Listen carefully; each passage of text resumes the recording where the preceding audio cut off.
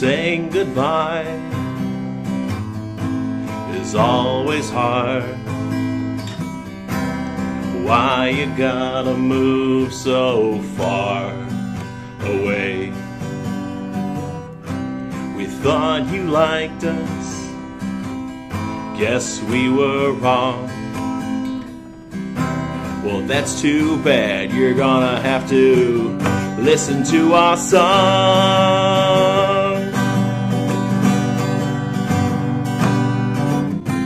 Why you going to Wisconsin? I heard it gets real cold up there. I hope it's exciting and not a bore. At least you won't have to see Ryan Moore. Why you going to Wisconsin? I heard they get a lot of snow. I think you'll be a great supervisor.